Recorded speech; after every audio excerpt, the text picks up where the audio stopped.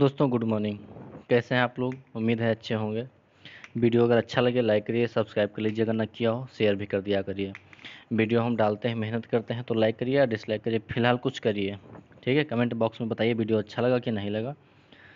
और वीडियो आप लोग देखा करिए। क्योंकि जो है, आप लोग मान लीजिए पढ़ाई करते हैं तो देखेंगे तो लाभ ही होगा। ठीक है? जो बकचोदी टाइप वाले हैं तो वो जो है नहीं देखेंगे तो कोई दिक्कत नहीं है। आप लोग में, या हम ही अपने आप को ही ले लें। जैसे मान लीजिए यूट्यूब चलाते हैं तो जो बकलोल टाइप की वीडियो होते हैं, उस पर ज़्यादा ध्यान आकर्षित होता है, पढ़ाई वाले पे कम, ठीक है? तो लेकिन मेन जो काम है, पढ़ाई पे ही चलेगा, बकलोल वाले वीडियोस नहीं चलेगा। इसलिए पढ़ाई करिए, अच्छे से करिए, ठीक है? और वीडियो शॉर्ट में ही है ये, लेकिन जो है, बहुत महत्वपूर्ण वीडियो है। जो लोकसभा है, उससे अधिकतर क्वेश्चन जुड़े हुए हैं। तो चलिए स्टार्ट करते हैं वीडियो पहला जो क्वेश्चन है, कौन जनता द्वारा प्रत्यक्ष रूप से निर्वाचित सदन है? तो लोकसभा है, इसको निम्न सदन भी कहते हैं और उच्च सदन कहते हैं तो किसको? राज्यसभा को, जो कि कभी विघटित नहीं होता है।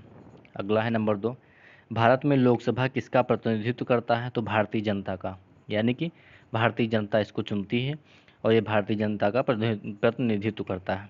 ठीक है? अगला है नंबर तीन भारतीय संविधान के किस अनुच्छेद में लोकसभा के गठन के संबंध में प्रावधान किया गया है तो अनुच्छेद इक्यासी है। ठीक है? तो इसमें जो है, लोकसभा की संरचना संरचना वगैरह के बारे में बताया गया है। अगला पॉइंट है, नंबर चार। संविधान में लोकसभा सदस्यों की संख्या कितनी निर्धारित की गई है तो 500 निर्धारित की गई है। और अधिकतम इसमें कितने हैं?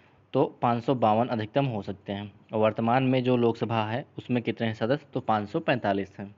याद रखिएगा। और लोकसभा के वर्तमान जो अध्यक्ष हैं, ठीक है तो वो हैं ओम बिरला। ये भी याद रखना। वर्तमान समय में लोकसभा के कितने सदस्यों को राज्यसभा की, राज्य की जनता सीधे निर्वाचित करती है तो 530 सीटें हैं इनको, ठीक है? अगला छठा नंबर है। वर्तमान लोकसभा में प्रत्येक राज्य के लिए स्थानों का आवंटन आधारित है। तो 1971 की जनगणना के आधार पर यह भी महत्वपूर्ण पॉइंट है, ये भी याद रखना। नंबर सात, भारत में स्वतंत्रता के बाद प्रथम आम चुनाव कब संपन्न हुए? तो उन्नीस में संपन्न हुए थे। नंबर आठ, क्षेत्रफल के दृष्टि से सबसे बड़ा लोकसभा निर्वाचन क्षेत्र कौन सा है? तो लद्दाख है। और सबसे छोटा जो लोकसभा क्षेत्र है तो चांदनी चौक है, दिल्ली का। ठीक है? अगला है, लोकसभा का चुनाव लड़ने के लिए इच्छुक व्यक्ति की न्यूनतम आयु होनी चाहिए तो कितनी? 25 वर्ष होनी चाहिए।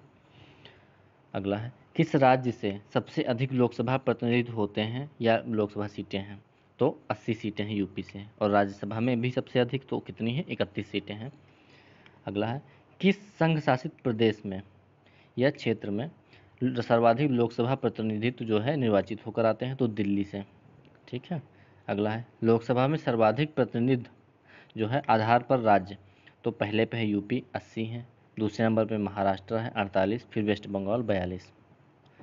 अगला है क्वेश्चन, लोकसभा का सामान्यतः कार्यकाल कितने वर्ष का होता है? तो पाँच वर्ष का होता है। ठीक है?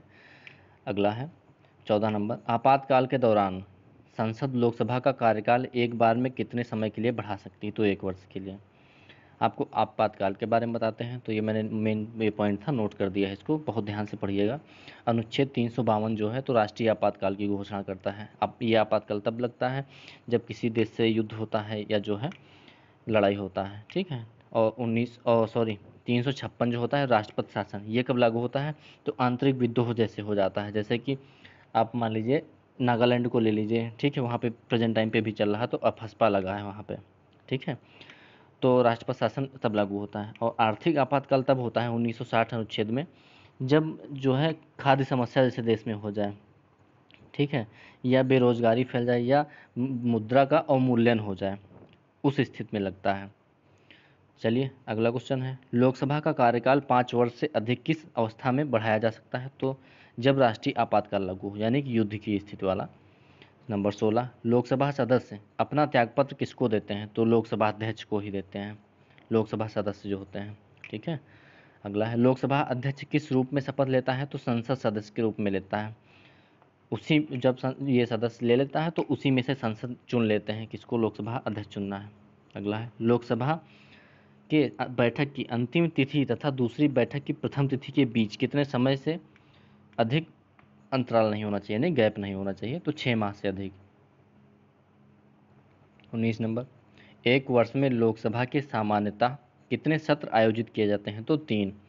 यानी कि वो छः छः महीने का गैप हो गया, लेकिन तीन सामान्यतया होते हैं। अगला है, बीसवां नंबर, राष्ट्रपति लोकसभा को कार्यकाल पूरा करने के पूर्व भंग कर सकता है कब? तो प्रधानमंत्री की सलाह पर। ठीक है? अगला है पॉइंट, राज्यसभा की सदस्य होने की उम्र कितनी है तो तीस वर्ष रखी गई। अगला है, किसे लोकसभा का अभिरक्षक कहा जाता है? तो लोकसभा अध्यक्ष को कहा जाता है। तेईसवां नंबर है, लोकसभा के अध्यक्ष को कौन चुनता है? तो लोकसभा के सदस्य चुनते हैं। ये मैंने आपको पहले ही बता रखा है। नंबर चौबीस है, अस्थायी लोकसभा अध्यक्ष यानी प्रोटेम स्पीकर को कौन नियुक्त करता है? तो राष्ट्रपति नियुक्त करते हैं। यानी कि इनका काम ये होता है, जब लोकसभा स्पीकर नहीं होते हैं या कहीं गए होते हैं या कहीं मीटिंग में होते हैं, तब ये जो है अध्यक्षता करते हैं। ठीक है?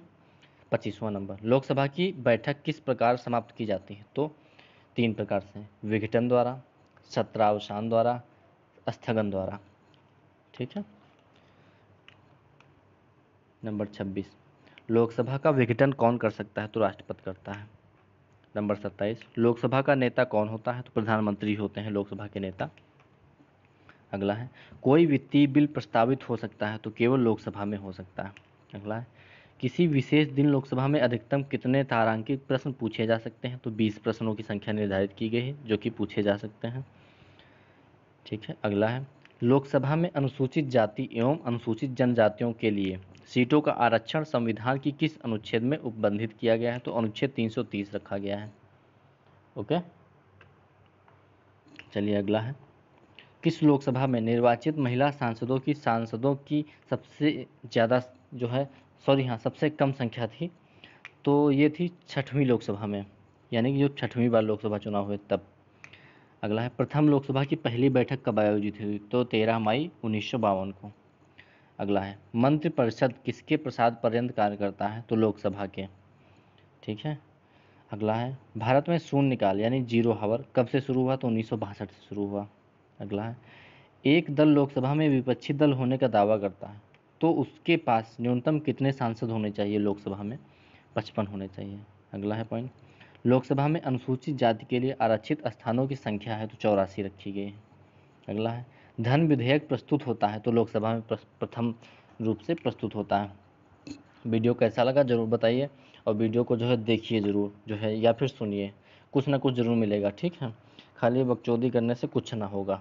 इसलिए पढ़ाई पे थोड़ा ध्यान दीजिए। मिलते हैं नेक्स्ट वीडियो में। धन्यवाद।